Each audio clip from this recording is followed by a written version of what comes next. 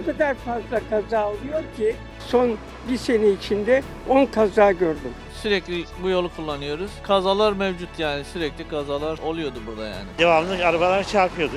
Bu, bunlar yokken köprüden uçuyorlardı aşağıya. Çevre halkının bu şikayetlerinin sebebi Adnan Kahveci bulvarında çok sayıda kazaya sebep olan işte bu virajdı. İstanbul Büyükşehir Belediyesi bu riski ortadan kaldırmak için çalışmalara başladı.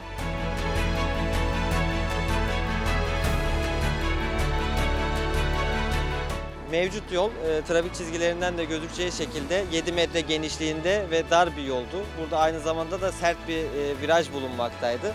Biz yolu iki tarafından ikişer metre genişleterek ve yolun aksını da değiştirerek daha e, güvenli bir hale getirdik.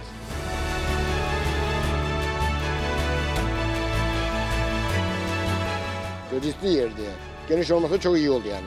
Keskin bir virajdı. Şu anda genişlettiler sağ olsunlar yani.